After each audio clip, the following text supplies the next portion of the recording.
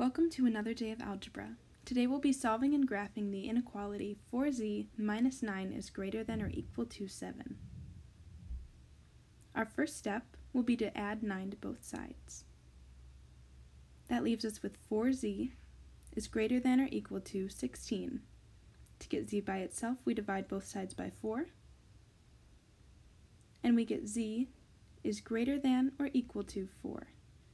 To write this in interval notation, we know that z is anything greater than or equal to 4, so our interval will be from 4 to infinity.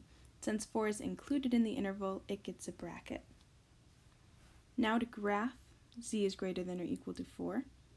We put our point on 4. This is a closed dot since, again, 4 is included. Then our line goes to the right to show that it's anything greater than 4. And that is our solution in our graph.